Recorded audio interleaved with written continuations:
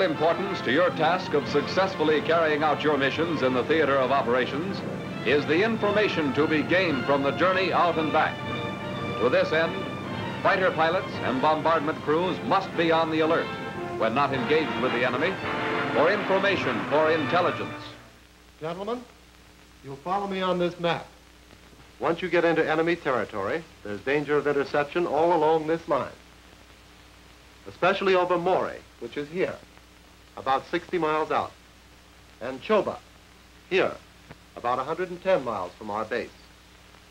The 86th Bombardment Group has the mission of flying direct to Yamura at 20,000 feet and bombing various objectives there.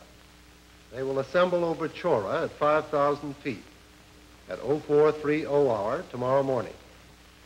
This group, with the 17th Fighter Group, has the mission of escorting and protecting the bombardment group for the first 200 miles. And on the return trip, it will execute certain reconnaissance missions. When you get to the fork of the Dungo River, here, you are at the end of your escort mission. Squadron commanders will then turn back with their squadrons in formation. Major White will explain the mission to you in detail. On the return trip, we are ordered to get all information possible concerning the results of our bombing last night of the railroad junction and oil dump at Quetta. This city is ringed with anti-aircraft defenses.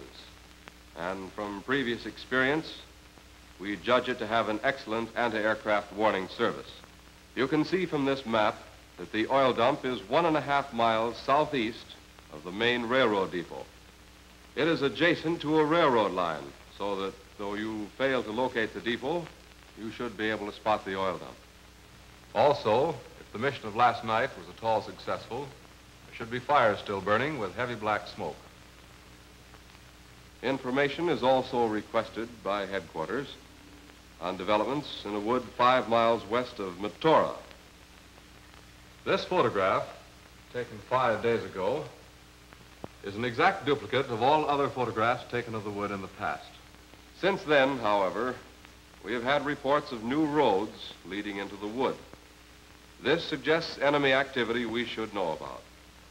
At the towns of Hugi and Korea, here, near the Grom Canal, we have reports of activities of clearing woods and of building spur tracks. And it's requested that we reconnoiter these positions, giving particular attention to the possibility that new airdromes are being established there. Intelligence believes this activity may be guarded by anti-aircraft, so be cautious of your approach. As you leave, you'll pick up a map of the Atsui area and also aerial photographs of Mori, Yamura, Curia, and Quetta. I think that's all, sir. This group will take off at 0440 hour, climb to 30,000 feet. As I said, our protective mission is, of course, to prevent enemy aircraft from interfering with the bombing mission. Now, you will not leave formation to engage enemy aircraft unless attack by that aircraft seems probable. And you will, in that event, act only on my signal. We have discussed the reconnaissance objectives. At the Dungo River, we'll all turn back. Follow me as I turn. We will gradually descend to a point five miles short of Quetta. At that time, Lieutenant Duffel here, on my signal of a wing dip in his direction, will leave the formation to execute the Quetta mission. The rest of us will slow down to 200 miles airspeed.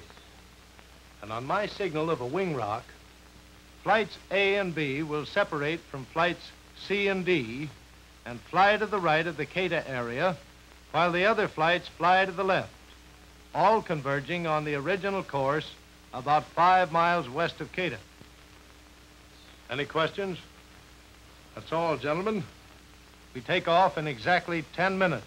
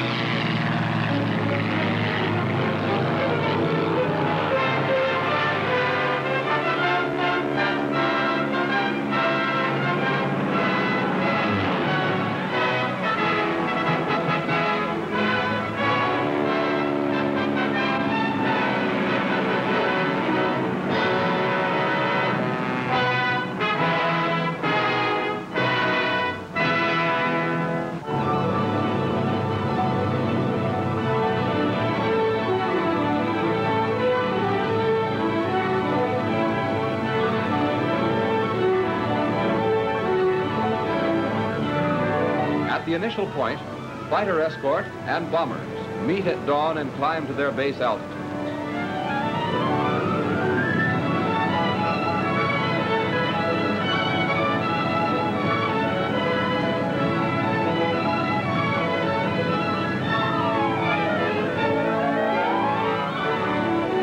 Darkness imposes a considerable handicap on air reconnaissance. Also, observations from aircraft operating in formation have their maneuverability restricted.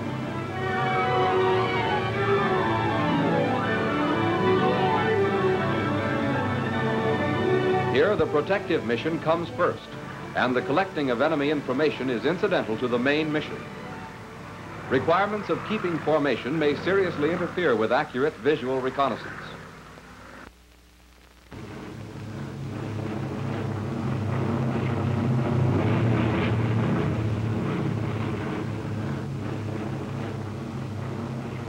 At the fork of the River Dungo, the escort mission is over. The 181st Squadron Operations Officer was designated at the group meeting as group commander for the escort mission.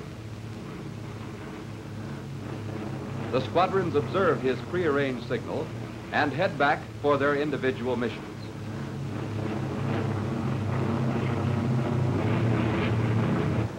The bombers continue on.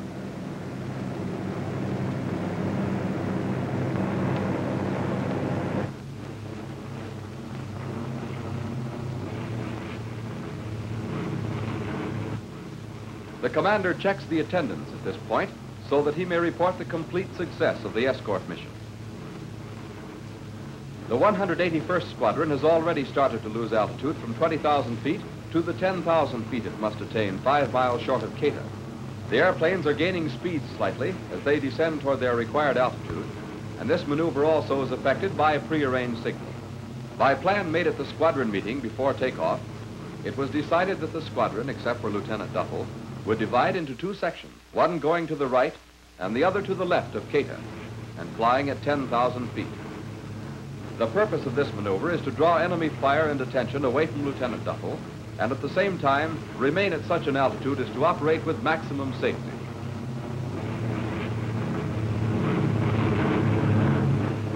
Lieutenant Duffel, observing this signal, leaves the formation to perform his solo mission.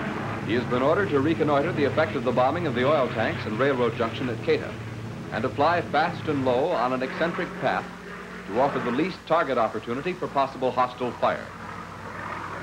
Although his vision is limited because of his great speed, Lieutenant Duffel can nevertheless get a half a dozen impressions from his rapid flight over the objective.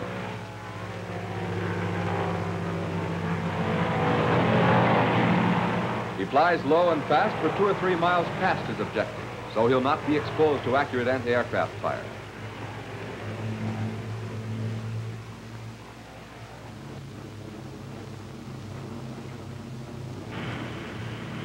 He then rejoins his squadron.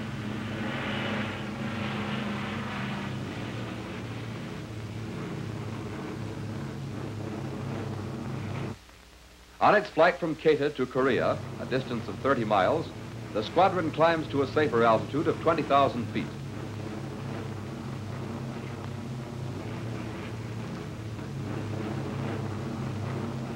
The commander signals his squadron to divide, and the squadron follows as he dives toward the objective at Korea.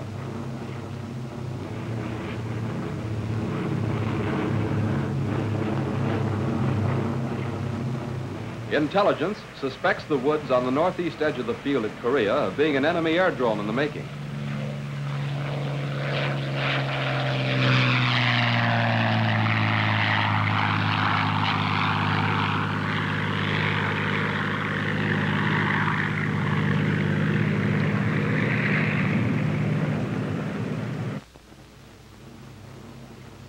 Lieutenant Duffel has already made notes of his first mission at Quetta, he now records everything he saw at Korea and has made a report of the time and altitude of each reconnaissance.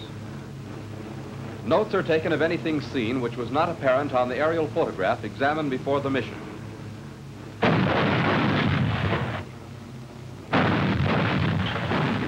Nothing is left to the memory. The 182nd Squadron has been given the mission of investigating Mitora for new developments.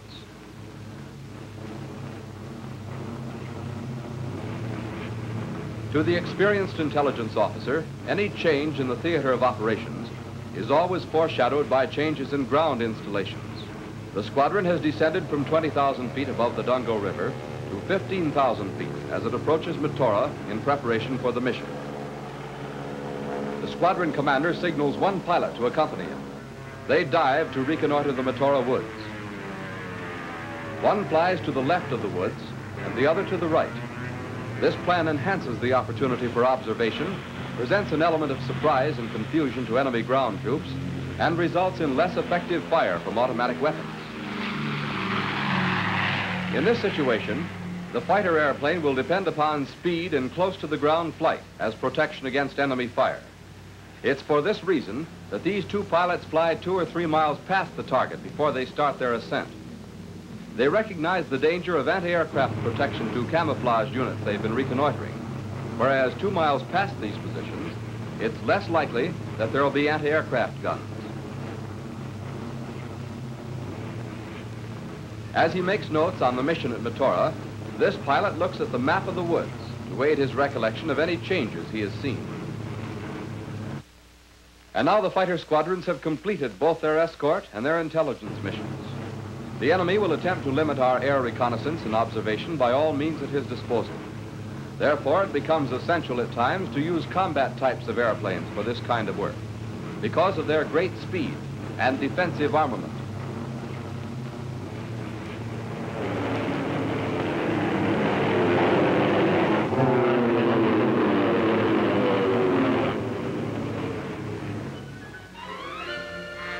Their flying missions completed, the pilots must turn in reports to squadron headquarters as soon as possible.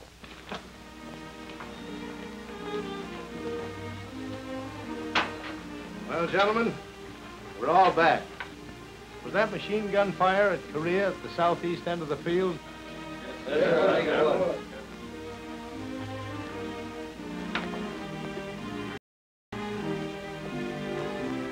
Ellis, what did you men see in the edge of those woods, northeast of the field at Korea? Well, Captain, I didn't have a lot of time. I saw a shack on the west end of the woods. There were several trucks and tractors scattered along the edge of the woods.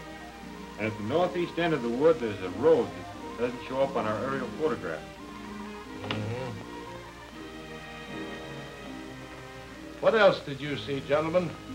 Can you add to this? I saw pretty much the same thing, Captain. And there really is a shack or building at the west end of the wood. It looks like yellow unweathered lumber. Uh, I didn't see any building, but I did see a road which does not appear in the aerial photograph on the northeast side of the field. Anything else? Yes, sir. I saw both the unweathered wood building and the new road. And there were a lot of trucks in that wood, too. What about you officers who flew on the south end of the field? That's all I saw, Captain. Quite a few tents, but no other change. How about that report, Lieutenant Duffel? Are you ready? Yes, sir, Major. It's ready.